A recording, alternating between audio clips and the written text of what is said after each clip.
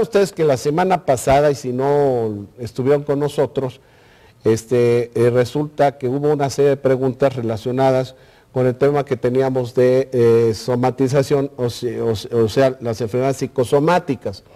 Y, este, y bueno, pues como hubo demasiadas llamadas, tengo aquí algunas de ellas, vamos a tratar de contestar y por supuesto se generarán nuevas eh, llamadas y con todo gusto trataremos de satisfacer a sus, a sus preguntas.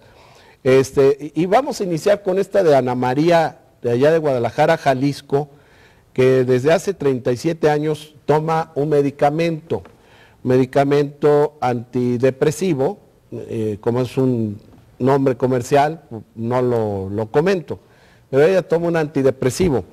Y, pero dice ella que nunca eh, imaginó que se volviera a ser adicta al medicamento.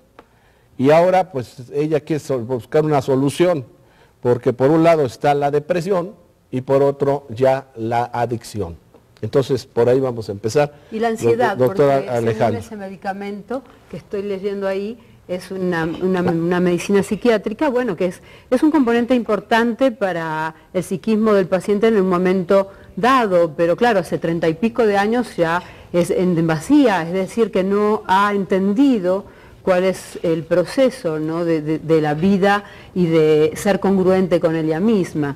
Eh, la depresión puede ser reactiva al principio, luego si no se trabaja sobre sus causas, va evolucionando, esta, depresión se hace crónica, se cronifica, entonces, claro, ahí es como que, es imposible sacarla de ese proceso, pero sí la psicoterapia funciona muy bien, el psicoanálisis, este, y muchos ejercicios ligados a ver la vida de otro, desde otro lugar, doctor, desde otro enfoque, porque una persona en depresión no, no, aprendió a perder, no aprendió a manejar eh, eh, estas frustraciones, entonces es necesario enseñarle o darle eh, guías para que vea la vida más, más, más alegre. Y por el otro lado, el ansiolítico, eh, esta, es una medicina que tranquiliza, que relaja. Por supuesto, la gente puede padecer de insomnio. Entonces nosotros tenemos en Grupo Tonal, además de tener maquinaria, aparatología que la coadyuva a equilibrar esta energía electromagnética, sobre todo por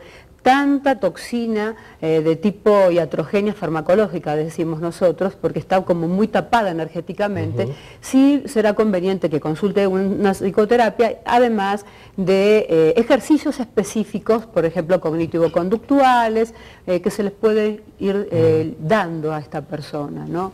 Y hay, por ejemplo, bridin eh, para la depresión, este, también eh, eh, complejo B, fólico. El, ácido fólico. El ácido fólico tiene una, acción antidepresiva, es un antidepresivo, ayuda a la depresión, así como en el caso ya de la ansiedad, el ácido